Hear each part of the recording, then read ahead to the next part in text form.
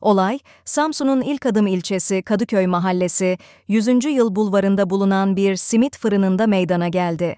Edinilen bilgiye göre, M.A. geceleyin girdiği simit fırınından 20 bin lira değerinde 4 çuval susam ve yaklaşık 500 lira bulunan sadaka kutusunu çaldı. Samsun Emniyet Müdürlüğü, Asayiş Şube Müdürlüğü, Hırsızlık Büro Amirliği ekipleri olayla ilgili MA'yı yakalayarak gözaltına aldı.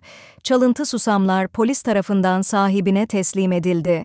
Polisteki sorgusu tamamlanan MA, bugün Samsun Adliyesi'ne sevk edildi. Nöbetçi mahkemeye ifade veren MA, tutuklanarak Samsun T tipi kapalı cezaevine gönderildi.